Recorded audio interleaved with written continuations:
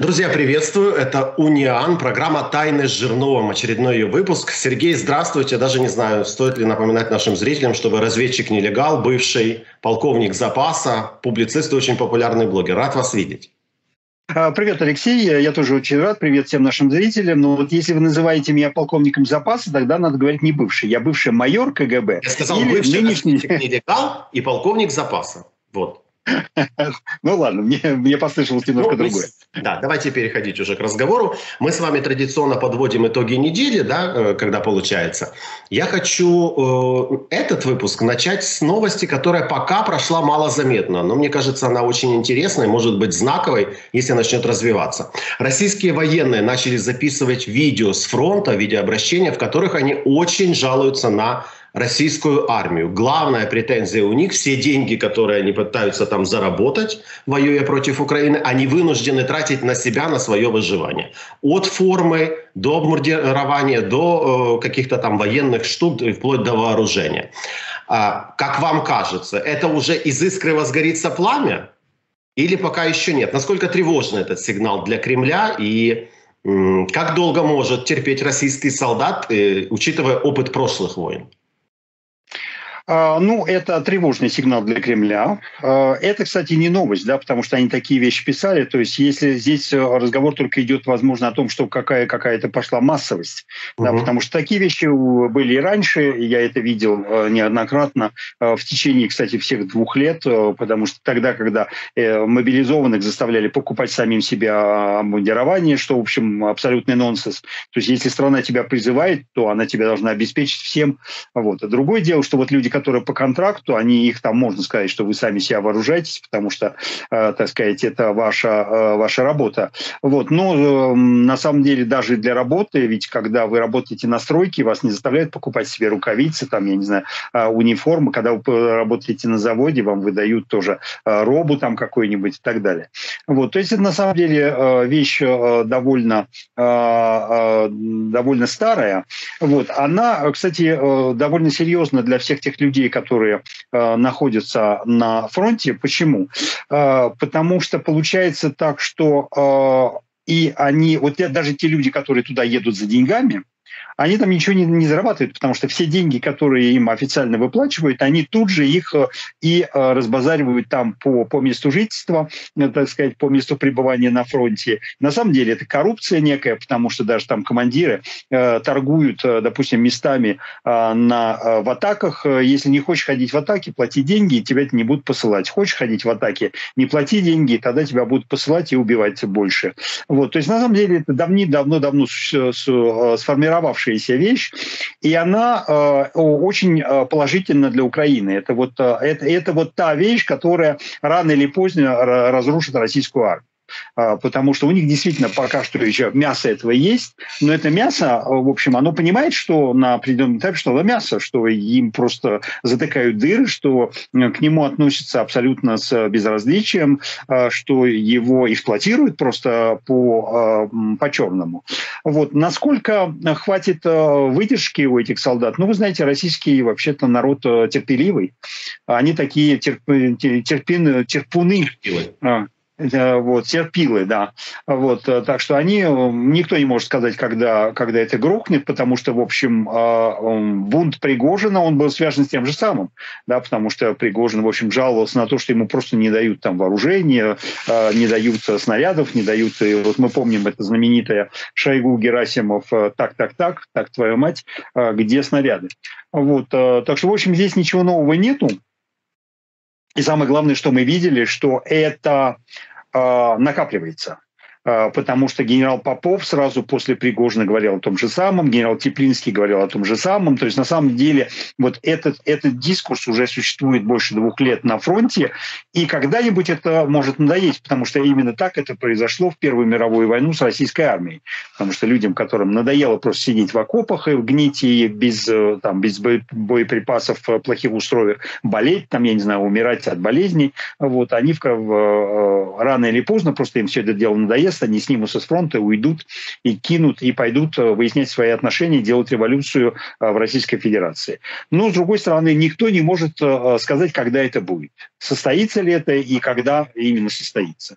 Вот это вещь совершенно непредсказуемая. А в Первой мировой солдаты сами пошли или кто-то повел, напомните? Там ну, я к чему? Ну, нужен какое-то ядро, да, которое будет этим всем руководить? Или да, просто... да. Да, вот это как, как раз отличие от Первой мировой, потому что в Первую мировую э, приходили агитаторы большевистские, агитаторы соци- социал-демократов, то есть агитаторы-леваки, которые начинали там вот среди, среди солдатов на самом деле э, мутить воду. Вот. Они за это, кстати, рисковали быть расстрелянными прямо там на, на месте, но тем не менее эта агитация и пропаганда велась, и рано или поздно, э, ну, на это тоже э, скорее поздно, чем рано, да, потому что война началась в 2014 году, а революция, то есть ушли они в 17 году. Вот. Еще, кстати, не все ушли, то есть там часть какая-то ушла, вот, а потом вторая часть просто э, э, заключила вот этот Брестский, Брестский мир, так, так называемый, уже большевики, большевики с Германией э, сепаратный мир заключили э, без э, репараций и, э, и э, ретрибуций. Вот, и, э, так сказать, согласились э, даже перед Германией, которая проигрывала на самом деле войну, э, сдаться, потому что у них свои проблемы проблемы просто были внутри страны, революция. Вот, то есть, э, ну, все-таки понадобилось время, потому что, ну, эти крестьяне, они, э, в общем, такие терпилы, да, они не, эм, э, даже когда у них в руках оружие, до них должно очень сильно дойти, дойти, там у них не связывается что-то в голове, что если у вас автомат Калашникова есть в руках, и если над вами так издеваются, то вы можете просто прикончить всех своих командиров и уйти обратно к себе домой, прикончив там уже политиков, которые вас туда послали. Вот. Ну, в общем, будем смотреть. Ну, смотрите, левацких агитаторов сейчас, конечно, у них там в окопах нет, как времена Первой гражданской войны, но есть же мобильная связь. И вот это, да. роль этих агитаторов могут их родные же да, выполнять которые тоже, да. в общем-то, ну. лучше жить не стали. Денег они им не присылают, потому что тратят их на свое выживание. А, возможно, тогда эти женские протесты родственниц мобилизованных, они могут не тлеть, как сейчас, где-нигде, да, там, а, а, а могут разгореться серьезно. Вы, вы верите в такую синергию протестных настроений по две линии фронта? В тылу у них там Российская Федерация и на передовой? Да, я верю в то, что это может э, именно сложиться э, в синергию. Э, я верю в то, что, кстати, эти агитаторы... Мы с вами являемся такими агитаторами, потому что у них есть мобильная связь, они смотрят интернет. У меня на канале 50% русские, у меня 50% россияне. Кроме тех, что все смотрят много очень за рубежами, много смотрят в Центральной Азии, много смотрят в Беларуси и так далее. Но в России 50% моих зрителей находятся в России. Причем они не используют никакие VPN, они просто смотрят напрямую со своих устройств. Вот. А, и эти солдаты у них, ну, у них там вроде бы там запрещают, отбирают эти мобильные телефоны, чтобы они не очень сидели э, в, э, в YouTube. Вот. Но, в общем, эти агитаторы, как вы сами понимаете, более эффективны, потому что, во-первых, мы с вами ничем не рискуем на этой передовой, потому что мы с вами нашу пропаганду им рассказываем. Причем она даже у нас не пропаганда, пропаганда. Мы просто им рассказываем, как они по-настоящему а, живут и как их обманывает э, путинская власть. Мы, наоборот, им открываем глаза. Вот. И открываем глаза, кстати, их женам тоже, потому что они же ведь, эти жены, начинали с того, что они говорили, ну, типа, вы верните моего мужа, а заберите мужа соседки. Вот. А потихонечку они, в общем, понимают, что не мужа соседки тоже забирать не надо. Вот. И им до этого говорили, ну, вам же деньги платят. Они говорят, нет, мне, мне, нам не нужны эти деньги, нам не нужны эти э, планки, значит, на школах, нам не нужны эти эти герои убитые, нам нужны реально наши мужья. Ну, для тех женщин, которые реально их любят, которые, для которых там отец семейца а, представляет а, реальную какую-то а, значимость в семье. Вот. Ну, постепенно все это, все это накапливается. Другое дело, вот вся проблема, что никто не знает, когда это накопится и как это бабахнет. Ну, э, с женами бабахнуть тут рассчитать проще. То есть я считаю, что вот э, когда первую из этих э, бедных несчастных дам э, изобьют э, до полусмерти, а еще лучше, ну не дай бог, конечно, убьют, вот тогда это будет, то есть нужен какой-то, нужна какая-то трагедия, э, которая, значит, э, сподвигнет этих людей. Да? Вот такой трагедией обычно является какой-то очень трагическая жизненная вещь, то есть либо жену, либо, не дай бог, она пойдет там с детьми, и там детей как-нибудь там забьют или арестуют, или посадят. Вот. И вот тогда, конечно, эти солдаты начнут просыпаться потихонечку. Вот. Потому что на самом деле эти жены уже начинают писать, потому что я вам напомню, что когда были, была история в Башкирии, там же был видос, когда женщина говорит, э, Башкирия, которые э, вы там сидите на передовой и боретесь неизвестно за что, защищаете э, какую-то неизвестно какую власть и, так сказать, занимаетесь агрессивным, агрессивной войной в чужой стране, вы возвращаетесь к себе в собственную страну, защищаете своих собственных матерей, отцов, которых там сейчас гнобят в, в тюрьме. Вот, то есть это процесс идет на самом деле. Процесс идет, и власть идет навстречу эскалации этой конфликта, да, нас подливает масло в огонь этого противостояния, потому что родственники, они все равно выходят, худо-бедно, там много их, немного, но их начали паковать. Э, ну, пока, пока не женщин, но пакуют тех, кто рядом с ними, или репортеров, которые освещают э, все эти мероприятия. И, ну, в общем-то...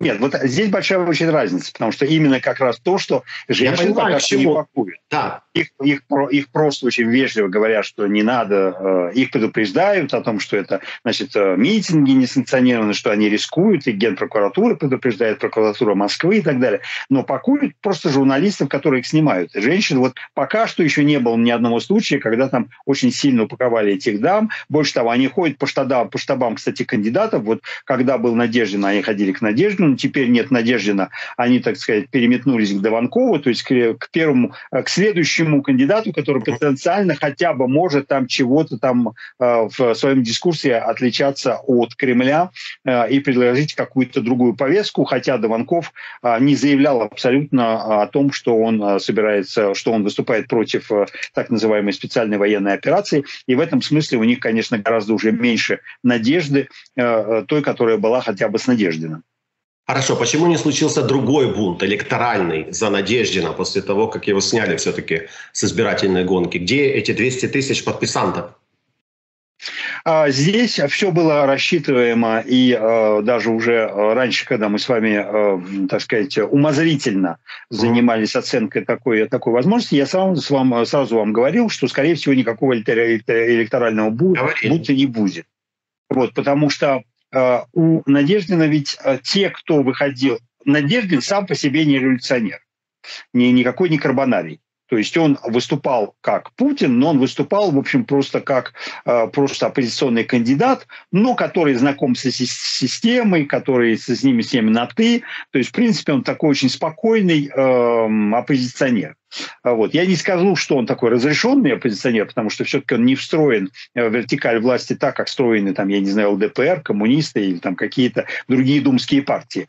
Но, тем не менее, он, в общем, э, довольно спокойный человек. И люди, которые выстраивались в очереди для того, чтобы поставить за него подписи, они тоже не революционеры. Им просто было понятно, что это разрешенная процедура во время избирательной кампании. И поэтому им было приятно, наконец, сделать э, какой-то, э, ну, скажем так, так, э, оппозиционный шаг, при этом разрешенный, законный, а, легальный, за который вас не скрутят, не посадят никуда, там, не, повол, не, повол, не поволокут ни в какое СИЗО и так далее. Потому что там тоже революционеры, в общем, нету. Там э, такой офисный планктон, там молодежь, там какие-то либеральные э, такие старички из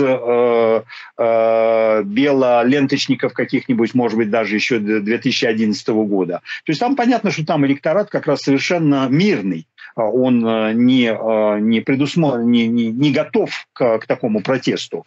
И, строго говоря, они же все, ну, надо будем честными, и мы с вами, что, в общем, надежды на то, что Надеждина зарегистрируют, было очень мало. Мы с вами сами говорили. Я вам говорил, что вообще э, власть попала в ситуацию пата, когда зарегистрировать она его не может, и зарегистрировать его не может. И в такой ситуации пата она выбрала для себя наименьшее зло. То есть, грубо говоря, она рисковала гораздо больше, если она зарегистрирует Надеждина, чем если она его не зарегистрирует. Э, то есть, не регистрация Надеждина делает просто э, эти игрушки игрушки выборы полностью нелегитимными со стороны Путина.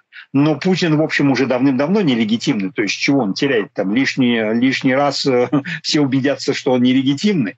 Вот. А если бы он допустили Надеждину, то тогда появлялась бы э, реальная, с моей точки зрения, опасность того, что Надежда на себя соберет вот этот самый, даже не то, что протестный электорат, а просто электорат, который просто устал от Путина, и который устал от войны, устал от санкций, устал от всего этого, от всех запретов, устал вот от этих э, жутких совершенно законов, и который просто хочет вернуться в, в обычную бытовую э, обывательскую жизнь. Они, э, опять же, эти люди не революционеры, поэтому я, кстати, говорил, что э, путинский режим в этом смысле потерял последнюю возможность мирным демократическим путем сделать транзит власти, э, потому что Надеждин абсолютно не революционер, он абсолютно не будет там Путина выдавать в Гаагу в какую-нибудь, сажать его в тюрьму, вот, то есть он сделает из него елбасы точно так же, как Такаев сделал елбасы э, Назарбаева, и несколько лет его там облизывал, и всех его родственников облизывал, и, в общем, ничего не, строго говоря, в Казахстане не поменялось. Только через некоторое время, потом, по прошествии некоторого времени, что-то там на, на, на, начало двигаться.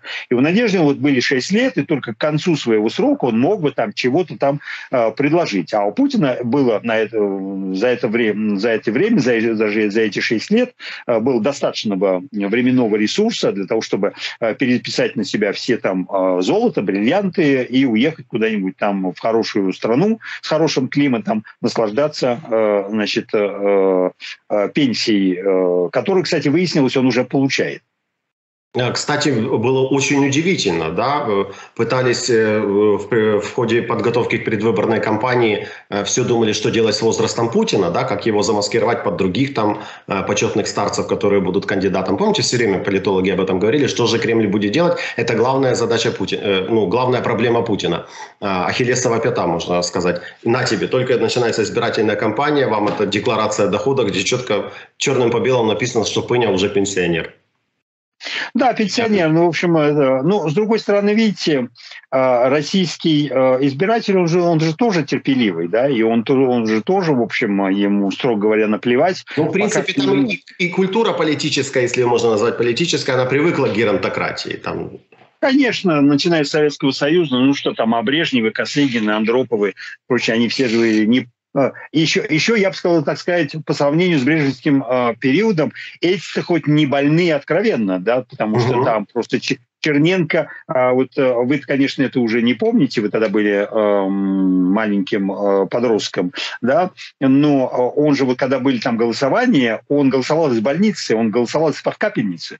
То есть я просто читал, ему, да, я читал. ему, ему ему принесли урну прямо вот в палату в, ЦКБ, где он там сидя лежал, и он лежал такой, как на смертном одре, вот, значит, э, и он там трясущимися руками э, чего-то там за, в, э, в этот переносной ящик засунул свой, свой бюллетень. Ну, то есть тогда это даже не скрывали, потому что Андропов тоже практически половину своего срока правил просто из ЦКБ, вот, ну, у него там свои прибамбасы, у него болели почки, поэтому он должен был каждую неделю делать диализ в ЦКБ, вот, а потом просто просто у него оборудовали палату, и он просто э, занимался, он лежал целыми днями вот, э, в больнице и оттуда просто э, правил. Вот, так что, в общем, конечно, Советский Союз и российский, российский избиратель к этому, это еще не так давно происходило, то есть еще люди, которые вполне это помнят, э, причем люди не очень старые вроде меня, да, там, так сказать, а молодые вроде вас где-то это читали, где-то видели, то есть, в общем, это на слуху еще все это находится.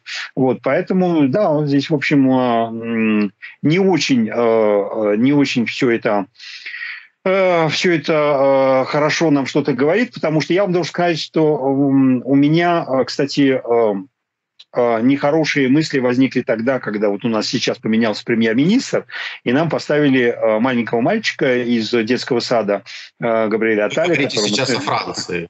Да, во Франции, да. Ну, ему 34 года, но он выглядит на 18.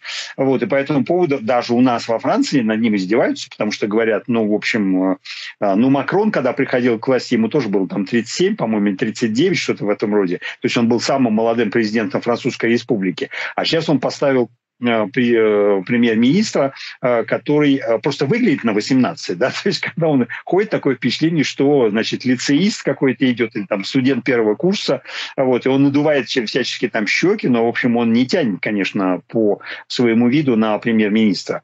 То есть в этом смысле даже, это я к тому, что даже в цивилизованных странах, в развитых странах, в общем, ну, совсем уж молодой кандидат, он тоже не вызывает много доверия. Да? Можно, можно на этом играть, как, допустим, когда это было там в случае с Кеннеди, с, с Джоном Кеннеди, да, можно на этом играть, как вот, допустим, премьер-министр Канады Трюдо, ну, такой моложавый, очень себе, вполне себе молодой человек. Вот. Но даже вот у нас есть какая-то, ну, такая консервативность, э, когда считается, что, в общем, ну, политик, ну, должен, э, грубо говоря, где-то быть около 50 для того, чтобы вот э, хорошо, он еще не совсем старый, но и уже не такой уж и молодой. В Чечне, кстати, в Конституции записано, что президент Чечни не может быть моложе 30 лет. Ну, там, если нужно будет, перепишут 16 раз, понимаете, если нужно будет быстренько ну, поставить какого-нибудь Кадырова, Кадырова под, или... под Кадырова не переписали. Не переписали тогда, когда он э, его Сейчас назначал. Сейчас перепишут под кого угодно. Ну да, под его 15-летнего сына скажут наоборот, очень хорошо. Именно, именно это очень хорошо, потому что он ничего не знает, ничего не понимает, поэтому только такой идиот молодой может решиться идти куда-то руководить республикой тему иджизма в политике. Не планировал этом, об этом говорить, но вспомнилось во время вашего ответа. Вы видели, какую подножку Минюст США э, Байдену подставил? Как они его описали? Больным э, не вспомню точно, не хочу искать цитату, но, э, скажем так, больным человеком в возрасте с плохой памятью. Кто ну, же... на самом деле, на самом деле там тоже там немножко сложнее вся эта ситуация, потому что э, там написано чуть-чуть по-другому. Там говорится так, так, что Байден тогда, когда ему это выгодно, э, делает вид, что он э, но, ну, человек со слабой... растянули совершенно по-другому. Это Байден вынужден был оправдываться, понимаете? Да, и Байден вынужден был оправдываться. На самом деле ему, он действительно ему было это выгодно, потому что, э, так сказать, когда э, вы говорите, что он там Э, где-то там забыл какие-то секретные документы, ну, говорит, ну да, вот у меня там с памятью немножко проблем бывают, вот, поэтому вы меня в тюрьму не сажаете, а вот, а когда ему, э, значит, он сам э, ошибается, называет вместо Макрона, его Макрон называет Митераном, а, значит, Шольц называет Полем, вот, говорит, я вот недавно с ними, с, с Митераном и с Колем встречался, да, с Митераном из, из Германии, потом говорит, нет, нет, он из Франции вот, э, то, в общем, здесь, конечно, все это выглядит э, довольно, э, довольно ужасно. Вот. Но вы видели же, Путин тоже ведь говорил, что отец Зеленского воевал с нацистами, а О, отец, Зеленского, да. отец Зеленского родился в 1947 году. году. В 47 году, да, но он воевал за, за нацистов. Это было, конечно, эпохальное интервью. Я хотел к нему перейти через то, что вы говорите. Вы сказали о том, что у советских геронтократов Э, это уже все было явно, да, их старость, так и у Путина явно. Вы видели его ноги, руки трясущиеся во время интервью с Такером Карлсоном. Э, там некоторые говорят, что у него там даже судорога была во время интервью, специалисты увидели. Но он, он, он тоже уже развалюха, это тоже видно. Uh, да, у него, в общем, uh, есть, uh, есть какой-то, какая-то проблема, это давнишняя проблема, потому что ножками он сучит это давным-давно, Э, подкашливает он давным-давно. Э, вот э, проблемы с параличом руки или там с чего у него тоже давно. Это мы вспоминали еще в 22 году в июле месяце. Помните, когда он гулял с дочкой Шойгу и Шойгу и стал отмахиваться комаров, от комаров другой рукой, а вторая у него летела, висела просто как плеть. Так что в этом смысле ничего нового здесь мы не увидели. Вот. Но вы знаете, кстати, вот эта история Валерия Соловья с эм, двойником и генерал СВР, она, кстати, отмазывает Путина да, потому что э, получается, что эти проблемы просто потому, что двойник ни хрена не понимает такой вот, он столер четвертого разряда, и поэтому на него списывают, что это вот типа двойник ничего не умеет. Потому что я считаю, что если сказать, что вот это как раз Путин, что это у него старческая деменция уже, то это гораздо больнее бьет по режиму, чем если говорить, что за него выступает какой-то там двойник. Ну, кстати, Сергей, здесь мнения ученых разделились, потому что я видел э, комментарии тех специалистов, которые занимаются путиноведением, если можно так сказать, о том, что это был двойник. В частности, об этом написал известный психотерапевт. Я писал с ним несколько интервью э, для телеканала «Униан» Дмитрий Попов. Он точно уверен, что интервью Такеру Карлсону э, давал двойник Путина. Верите ли вы в это? Давайте это все, все эти версии разберем уже во второй части э, нашего разговора. Давайте зрителей попросим найти ее и посмотреть. Будет обязательно интересно. Обещаю.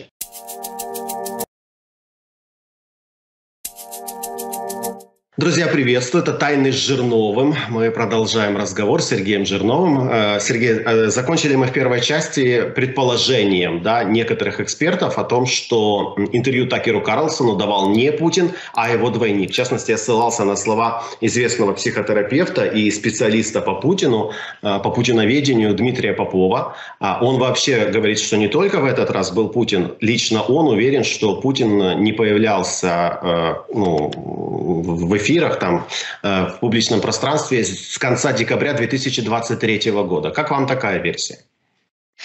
А, мне эта версия, а, я в нее не верю. А, я видел того же самого Путина, который и был всегда. Просто этот Путин постарел, подурнел, по, у него проблемы не только физические, но и умственные.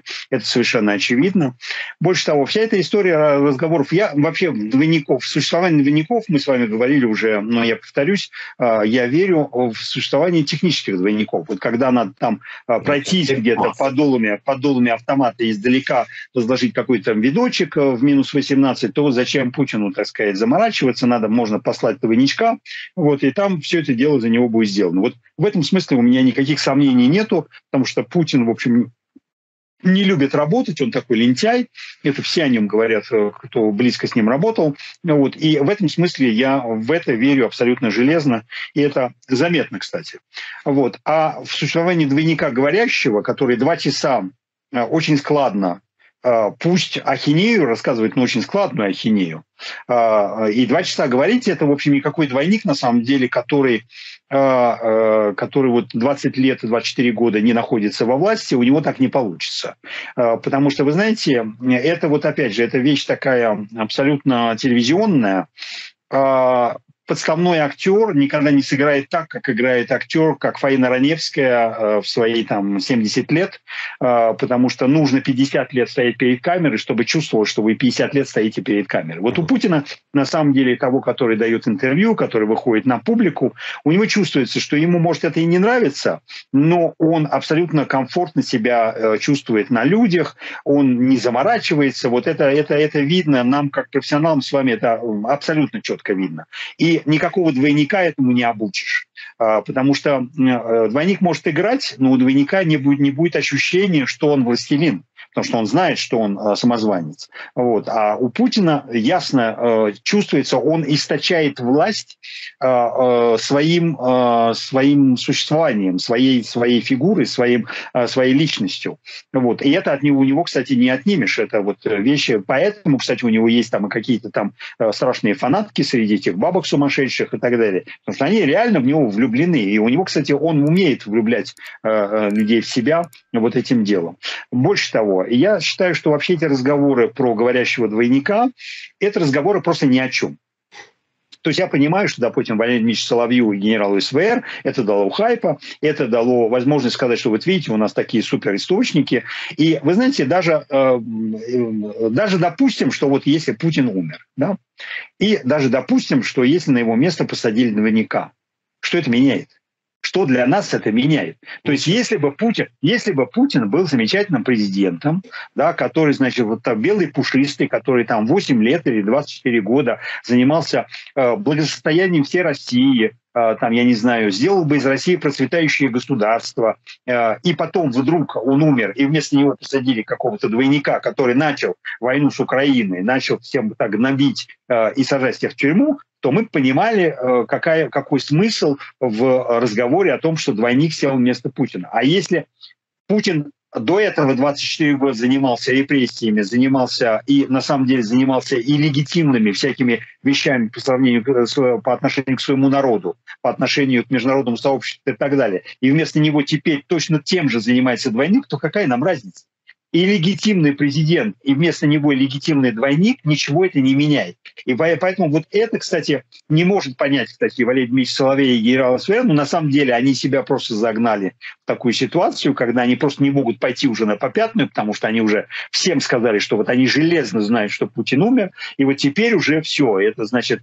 Причем я, кстати, с генералом СВР на эту тему э, вне э, э, камер общался. Я им говорил, что, вы знаете, есть еще такая, такая вещь, вот почему, как вы думаете, ни один президент Соединенных Штатов никогда не озвучивал тему инопланетян и летающих тарелок.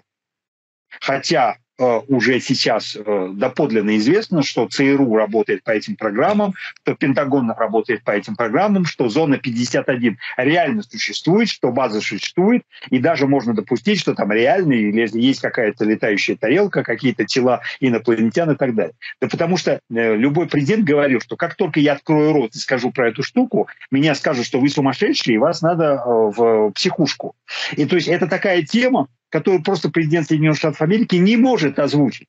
Потому что иначе он перестанет, он потеряет всякую, э, всякую серьезность. Что и произошло с Валерием Дмитриевичем Соловьевым. Он продолжает надувать щеки, он продолжает надевать бабочку, э, то бабочку, то белый халат, то, то там еще чего-то, но его перестали воспринимать как серьезного эксперта. Потому что просто он позволил себе озвучить то, что никто не хочет э, принять. И если даже вот э, вы э, говорите какую-то правду, ну, я вам напомню там про э, Коперника, Джордана Бруна, да, потому что быть, э, знаете, это проблема на самом деле, быть впереди своей эпохи. То есть если вы озвучиваете что-то, к чему общество не готово, и что оно не, не хочет принять или не может принять, то вы будете выступать как идиот абсолютный. Конечно, история потом, через 500 тысяч лет, э, вам э, отдаст э, должное и скажет, да, да, вот был там, да, допустим, такой Валерий Ильич Соловей, который по-настоящему там рассказал про Путина, но его не поняли, и он умер э, в нищете, в бедности, э, бомжом на улице, потому что ему перестали подавать деньги и так далее. То есть, понимаете, вот, вот, вот это, к сожалению, происходит, потому что есть такие вещи, которые просто нельзя. И я, кстати, при, приводил даже пример вот с тем же самым американским правосудием. Это на, на эту тему даже снято несколько, несколько кино, когда вот ведь правосудие американское – это не про справедливость это про возможность что-то доказать. Да, и вот э, когда э, там бывает э, довольно часто такие ситуации, когда все против вас, и если вы будете тупо говорить, что да, я вот не виновен, я никого не убивал, то вас приговорят к смертной казни и повесят, или там яд вам впрыснут. Вот. А если вы скажете, да, я убивал, то вам дадут 4 года, и через 2 вы выйдете на свободу.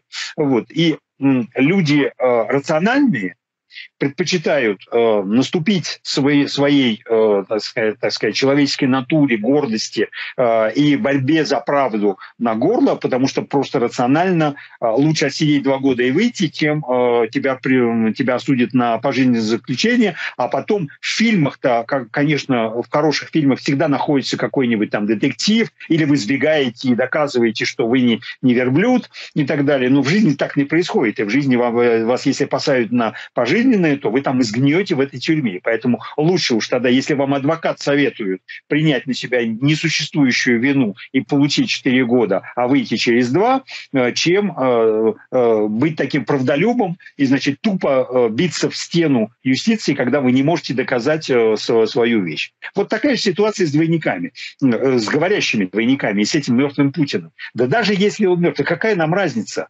Какая нам разница? Кстати, э, Соловей сам поменял уже э, свою э, политическую ориентацию. Вот, и он теперь говорит, что этот двойник теперь идет на выборы. А в этом нет никакой логики, потому что если он идет на выборы, тогда это Путин. И тогда это никакой не двойник. А если его изберут, тогда он будет законным президентом. И, все, и, и тогда вообще не имеет значения даже разговора двойник – это не двойник. Потому что человек, который, который переизбирает официально через президентские выборы, он становится легальным президентом Российской Федерации все, баста. И здесь даже нет смысла разговаривать. И вот я просто убеждаю, что э, огромное количество людей, кстати, это эта идея, она в массы-то проникла. То есть вот массы, они такие все упертые, они мне все комментарии вот к нашим эфирам и к моим эфирам пишут. Но неужели вы не видите, э, что это двойник? А я им говорю, а какая разница, двойник это не двойник? Вы, вы не понимаете главного, что это никакого значения не имеет для государственного управления, потому что президент Российской Федерации это не человек, это функция. И до тех пор, пока функция работает, и пока функция и устраивает всех тех, кто находится у власти в Российской Федерации, у власти в международном сообществе, это не имеет никакого значения, двойник это или не двойник. Да хоть тройник. Давайте вернемся, Сергей, давайте вернемся все-таки к Карлсону. Что эта функция наговорила этому псевдо, э, псевдожурналисту американскому? Я не знаю, стоит ли анализировать его исторические бредни. Э, Тамара Эйдельман правильно это назвала, интервью троечника, На больше он, конечно, не тянет. Если не двоечник, то троечник точно. А мне всегда после любого интервью Путина вспоминается вот эта байка о боярине Морозовой, которая сыну в сердцах бросила. Раньше я одна знала, что ты дурак, теперь вся Москва знает. Помните? Вот то же самое. Ну вот это вот тоже, вот только одно мне говорит. Ну теперь весь мир знает. Так мне кажется, что он себя выставил дураком, абсолютным кретином. Но так ли это? Достиг ли сам Путин и Кремль э, тех результатов этим интервью, которые они планировали? Или это была стратегическая ошибка Кремля? Как вы считаете? Это была стратегическая ошибка Кремля, э, это была, прежде всего, даже тактическая ошибка Кремля, потому что Путин просто не понимал, как строится интервью, и что нельзя рассказывать какие-то скучные вещи в течение 25 минут, когда тебе, э, в общем, э, человек, который тебя интервьюирует, показывает, что это никому не интересно, это надо заканчивать. Вот. То есть он по-стариковски, это вот, это вот абсолютно стариковская вещь, когда вот старики просто сидят и жуют сопли, а вот у меня там в молодости было, и нам рассказывают по 10 десятому разу вот на встречах э, домашних. Все домашние знают наизусть эти рассказки, mm-hmm. потому что это рассказывается не по десятому, а по 35-тысячному разу. Вот. А они постоянно это вот жуют, жуют, жуют эти сопли. Вот. Но на самом деле это не совсем провальное интервью. Оно, в принципе, провально, потому что его, конечно, никто не будет смотреть два с половиной часа или там два часа 10 минут. Я сломался на час 35. Вот. Э, и то потому, что я его смотрел по работе, по, э, так сказать, по обязанности месте. Вот. А американцы его смотреть вообще не, не будут, его, им, им это не интересно, им сделают просто нарезку. Но э, все-таки это интервью э, удача для Карлсона, потому что Карлсон заработал свое бабло, он сделал себе рекламу, э, об этом интервью говорил весь мир в течение трех дней. Вот, э, так что в этом смысле все, все нормально. Может быть, даже его возьмут обратно в Fox работать э, после этого дела, а может быть нет. Ему там Трамп обещает чуть ли не вице-президентство. Вот, но вот вы знаете, на самом деле, вот если он конвертирует это интервью в какой-то политический пост, то это для него будет вообще просто гениальная вещь, потому что тогда он будет не только богатым человеком, но он будет еще и политически успешным человеком, и дальше вся, вся коррупционная составляющая и так далее и тому подобное. Вот. А Путин, э, самое главное, что он доказал вот для американцев, это то, что он не Джо Байден. То есть он не тот человек, который, вот даже несмотря на то, вот ту деталь о том, что отец Зеленского боролся с нацистами, а ему он родился в 1947 году, это американцы не узнают никогда, им об этом никто не скажет, вот, и они сами это не услышат, а даже если услышат, они это дело не поймут. То есть вот в, этом смысле это не сработает. А вот то, что этот человек два часа может складно сидеть и разговаривать, и говорить, и, в общем, довольно э, нормально себя чувствовать, он даже там в туалет не, не отлучался, хотя я считаю, считаю, что он просто в подгузниках сидит, потому что, ну, э, э, и человеку его возраста два часа говорить без перерыва, это очень тяжело. Вот. Э, и в этом смысле это удачная вещь, потому что он отговорил какие-то свои вещи. Нам почему оно не интересно? Потому что мы это слышали уже по 25-тысячному разу.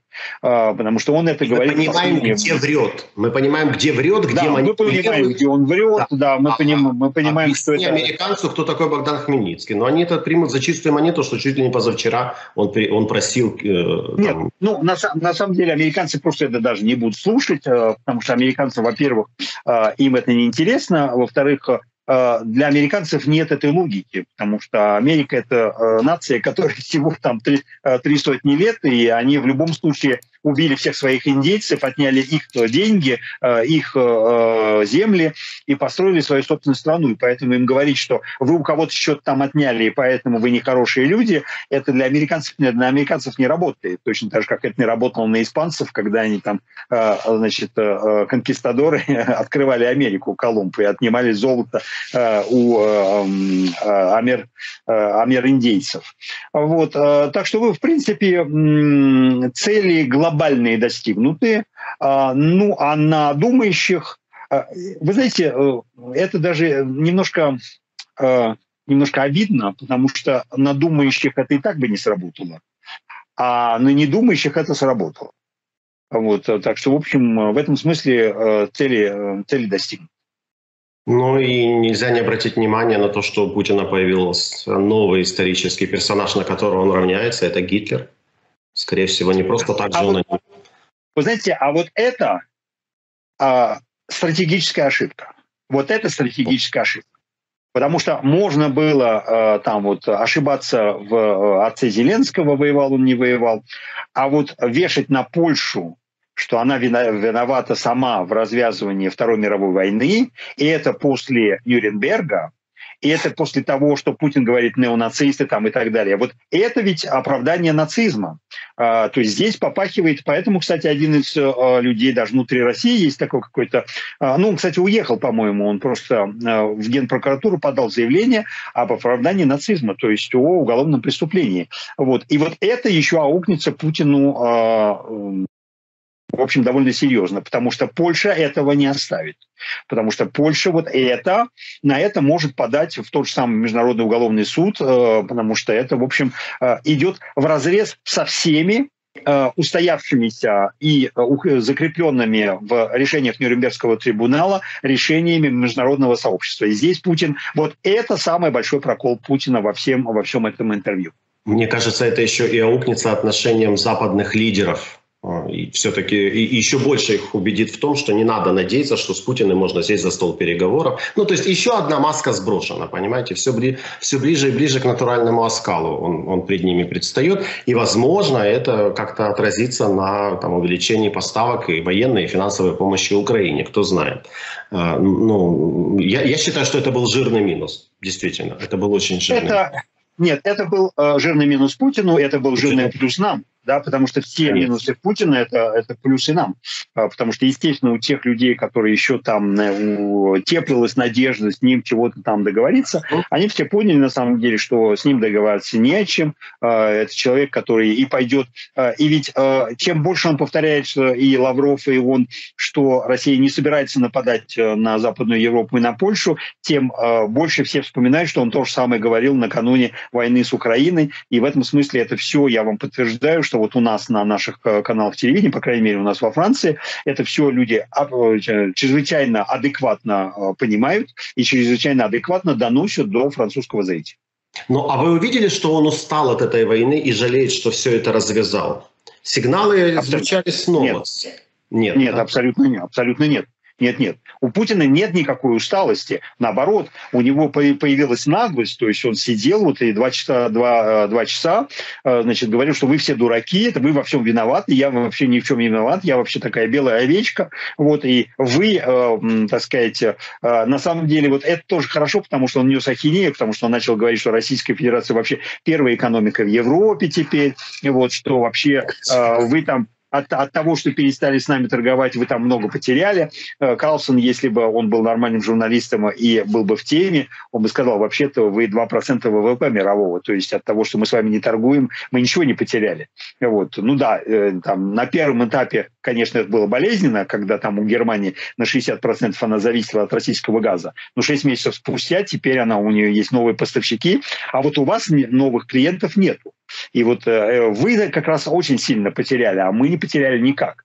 Вот. И это, но это нужно было, чтобы человек, э, во-первых, сидел э, в теме, а, во-вторых, у которого была бы цель, так сказать, получить от Путина какие-то внятные ответы или даже ему что-то там показать, что он не прав там, и так далее. У Карлсона не стоял такой задачи. У него просто, знаете как, его оружием была его физиономия, потому что когда он просто ошалело смотрел на этого старпера, который нес ахинею какую-то. Вот эта физиономия, она у всех осталась э, в телевизоре, и они просто все видели, вот человек сидит и смотрит, ё-моё, чего ты несешь, дед, ну вообще, вообще. Вот. Э, ну вот, э, вот это, слава богу. Для а... нас, слава богу. Да, чего еще он добился своим отборным бредом а, об исторических землях? Э, неожиданно, а возможно вполне ожидаемо, в китайских соцсетях целый бум. Да? А, ящик Пандоры просто открыл, китайцы хотят обратно Владивосток. Ссылаясь на интервью Путина в соцсети X, который говорит о территориальных претензиях исторических. А, э, там даже какой-то китайский американский актер Роберт Ву отметил, если говорить об истории, то тогда Россия должна вернуть Владивосток и другие огромные территории, украденные у КНР сто лет назад. Ну вот снова-таки, сам себе создал проблему, наляпал, да, а в Китае ведь эти мысли живы. И они подогреваются и Компартией Китая, и, то есть властью. Там не забывают об этих землях. Как вы считаете, э, какие еще страны могут территориальные претензии Путину выставить на основании его же искривленной исторической логики. Да сколько угодно стран. Может быть, Финляндия... И будут, и будут ли по итогам этой войны? Может, может быть, Финляндия, которая вспомнит, что э, Карелия – это ее территория. Да? А, может быть, эм, э, Германия или Польша, которая вспомнит, что Кёнигсберг – это их территория. А, или там Литва, да, и, э, так сказать, Польша с Литвой могут претендовать на то, чтобы поделить Калининградскую область э, и закрыть э, раз и навсегда этот вопрос. Вот. А Китай, безусловно, это самое опасное для Путина, потому что Китай – это вещь, которая очень недавняя потому что э, миллион квадратных километров китайских отошли Российской империи всего лишь в 1855 году. То есть это очень близко к нам, это совсем недалеко, причем это фиксировано международным договором. У них есть карты, они, кстати, уже давным-давно играются с этими делами, потому что э, вот э, в э, марте прошлого года или в апреле прошлого года картографическая служба китайская просто нанесла все китайские названия на этот миллион квадратных километров. Значит, э, Китай, э, э, Владивосток уже вернулся, да, и так далее. То есть на самом деле здесь у, э, у Китая просто Китай не хотел э, сжигать мосты раньше времени. Вот. Но то, что эту территорию Китай рано или поздно себе заберет обратно, это понятно всем абсолютно, и прежде всего людям, которые живут на Дальнем Востоке, потому что они знают, что на этих территориях они уже китайские они уже китайские, там просто еще а, пока что это не зафиксировано а, в международных договорах, но там просто все фирмы китайские, там уже все скуплено, причем они это купили просто деньгами, потому что они просто завалили местных а, бюрократов, которым надо строить себе дачи, дома и покупать машины, они просто их завалили баблом, и те им отдали все эти земли за бесценок абсолютно. Вот. Причем у Китая в этом смысле у него далеко дальше, э, гораздо дальше все это идет. Они до Волги, дошли. То, то есть у них есть сельскохозяйственные земли э, там в Башкирии, в Татарстане, то есть во всех этих э, послеволжских или привольских э, республиках национальных. Вот. Так что в этом смысле Путин, конечно, играет э, с, с огнем. И это, э, кстати, мы говорили с самого начала, то есть вот о том, что э, если он базирует э, свои претензии на исторических каких-то вещах, то э, именно на этом и строился Ялтинско-Потсдамский мир. Ялтинско-Потсдамский мир говорил, что забудем о всем, э, всех старых претензиях, вот так как мир сложился после, на выходе из Второй мировой войны, вот так ему и надо жить и за, за, забывать о бывших претензиях. А, потому что иначе э, опять все будет война, иначе у всех будут претензии, и, и иначе все будут вспоминать о том, когда они, что, чем там владели и так далее. То есть в этом смысле Путин, конечно, и причем он открыл этот ящик Пандоры не, даже не с вами, даже не в 2014 году, а уже в Грузии, в, в, в Грузии в 2008 году. Нет, а этим попустительством Китая, ведь не за два же года Китай дошел, как вы говорите, практически до Волги. Не знал Путин о том, что у него там медленная такая экспансия ползет, колонизация э, российских земель, знал прекрасно. Почему терпел, почему молчал? Много? Потому что, потому что он получает за это деньги, потому что давным-давно уже сказано, что Путин, с одной стороны, является агентом Запада, потому что он делает все. Вот на самом деле даже вот в результате этой войны все, что Россия получила в морду, это все благодаря Путину то есть даже не из-за Путина, а благодаря Путину. Да? Если Финляндия и Швеция вступили в НАТО, это благодаря Путину. Никогда бы они не, не, даже не думали, не, не думали вступать в НАТО, если бы не война Путина. Поэтому в, в этом смысле, вот, кстати, вот эти вопросы никакой Такер э, Карлсон Путину не мог бы задать. Э, да? Потому что когда Путин начал говорить, вот там э, нам обещали, что не будет расширения, любой бы нормальный американский журналист сказал бы, ну так э, в результате вашей, вашей войны вы получили расширение э, на две войны, э, на, на две страны и получили границу 1350 километров на севере, на северо-западе с Финляндией. И теперь там будут размещены американские войска, и там армия 280 тысяч, и вполне возможно, что они у вас скоро оттяпают вашу Карелию. Но Карлсон такого вопроса не задал и не мог задать, а нормальный журналист, вы говорите, будь он нормальным, а нормальный журналист, еще поищи того нормального журналиста, который бы на сегодняшний день хотел, хотел бы взять интервью у Путина. Нет, это, вот здесь я с вами, это, вот это... здесь я нет, вот здесь я с вами не соглашусь э, категорически, потому что как раз все средства массовой информации хотят взять интервью у Путина. Это тоже журналистика. И, э, кстати, вот это возмутило всех э, заявлений Карлсона, что я первый человек, который подумал о том, чтобы взять интервью у Путина. Ему даже Песков сказал, да ты чего, мелешь-то? У нас заявками за каждый день мы получаем там по 20 заявок от всех средств массовой информации со всего мира, которые хотят взять интервью Путина. Мы тебе, ты первый, кому мы разрешили. И это, кстати, не комплимент думаю, тебе. Ты, ты первый, кому мы заплатили, там нужно говорить, понимаете? А, это... А, кстати, Такер, он же унизил Путина превью, э, превью своего интервью. Он сказал, да. что в то время, когда интервью с Зеленским выходят на первых полосах там, всех газет мира, интервью с Путиным вообще нигде нет. И я решил исправить эту ошибку. Ну, читай между строк. Никто этого Э, бункер, в общем-то, и вообще, ну, то есть, ну, вышло, хотели как, в общем, из превью, и с самим интервью можно резюмировать так, хотели как лучше, вышло как всегда. В отличие от нас, мы, как всегда, хорошо с вами поговорили. Сергей, спасибо вам огромное за этот разговор. Нашим зрителям напомню, что сегодня в программе «Тайны с Жирновым» я в очередной раз общался с полковником запаса, бывшим разведчиком, нелегалом, публицистом, популярным блогером. Подписывайтесь на YouTube-канал Сергея Жирнова и на YouTube-канал Унян. Естественно, если вы еще этого не сделали. Сергей, спасибо огромное. До новой встречи ровно через неделю.